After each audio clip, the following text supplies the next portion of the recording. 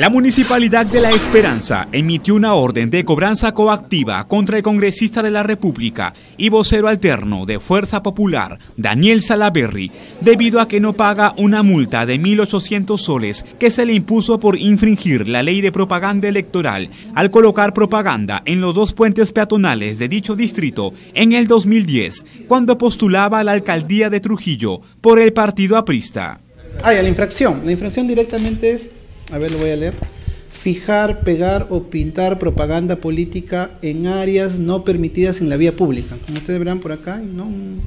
En el puente, en este caso puente peatonal. Cuando él era candidato a la alcaldía, dice, ¿no? Me imagino que sí, o sea, acá no se ve el aspecto si era candidato, o congresista. El jefe de ejecución coactiva, Gracián Salinas, detalló que el parlamentario en varias ocasiones ha sido notificado e informado sobre dicha sanción, sin embargo, ha hecho caso omiso.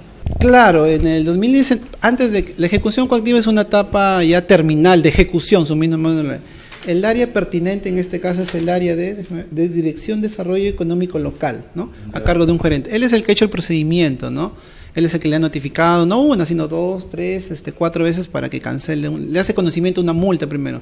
Evidentemente, para que llegue a ejecución coactiva es porque en esa etapa él ha hecho caso omiso a esa a esa multa. La orden de cobranza coactiva ha sido gestionada a través de la comuna trujillana, debido a que Salaberry Villa no tiene domicilio en La Esperanza. El gerente general de dicha comuna, Magali Ruiz, aclaró que no se trata de una persecución política. Nosotros somos los encargados de notificar, en primer lugar, en forma directa, la Oficina de Ejecución Coactiva de la Esperanza.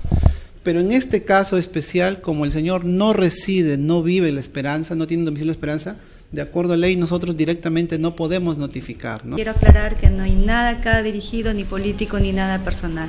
Ya les explicó el técnico, simplemente combinarlos para que cumplan con la resolución, la ley, nada más. Sin duda, una actitud que deja mucho que desear acerca de la formación política y empresarial de Daniel Salaverry Villa, quien por su investidura está llamado a ser un ciudadano ejemplar.